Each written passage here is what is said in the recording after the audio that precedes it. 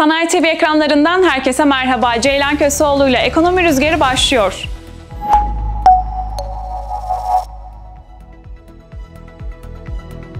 Dün gerçekleşen kabine toplantısının ardından Cumhurbaşkanı asgari ücrete yönelik açıklamalarda bulundu.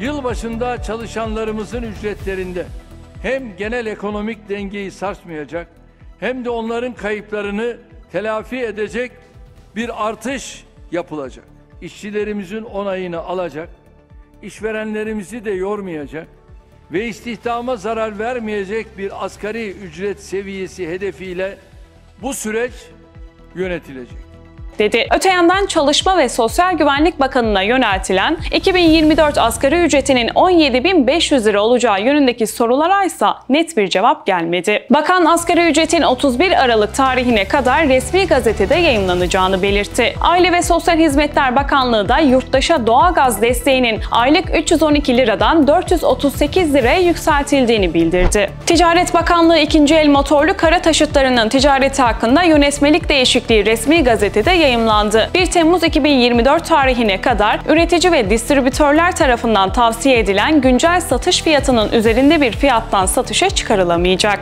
Yönetmelikte ayrıca Ticaret Bakanlığı'nın bu süreyi 6 ay daha uzatmaya yetkili olduğu da belirtildi. Interbrand tarafından her yıl gerçekleştirilen dünyanın en değerli markaları 2023 yılı sonuçları açıklandı. En değerli markalar sıralamasında marka değerini %4 artırarak 502 milyar dolara çıkaran Apple zirvedeki yerini korudu korudu. Otomotiv sektöründeki en değerli marka ise Toyota oldu. Toyota %8 artışla marka değerini geçen yılın üzerine taşıdı. Böylece toplam marka değeri 64 milyar 504 milyon dolara yükseldi. EYT ile birlikte 2 milyon kişiye aylık bağlanırken 100 binin üzerindeki dosya ise henüz onaylanmadı ve bazı başvurular da iptal edildi. Sadece 8 Eylül 1999 itibarıyla işe girmek EYT için yetmiyor. 1 liralık borç ya da eksik prim günü varsa yine aylık bağlanır bağlanamıyor. Bağkur kapsamında silinen günler için kısmi borçlanma değil tamamının satın alınması gerekiyor. SGK'ya başvurulup da ihya işlemi başlatıldığında hesaplanan tutar 3 ay içinde yatırılırsa ihya tamamlanabiliyor. Vizesiz gidilebilecek yerler arasına bir yenisi daha eklendi. Yılbaşı hazırlıkları yapanlar listesine Yunan adalarını da ekleyebilirler. Yunanistan Türk vatandaşlar için 10 Yunan adasına 7 günlük vize muafiyeti sağlayacağını açıkladı. Gündeme dair ekonomi haberleriyle karşınızda karşınızdaydım. Yarın tekrar görüşmek dileğiyle. Kanalımıza abone olmayı ve bizi takip etmeyi unutmayın. Hoşçakalın.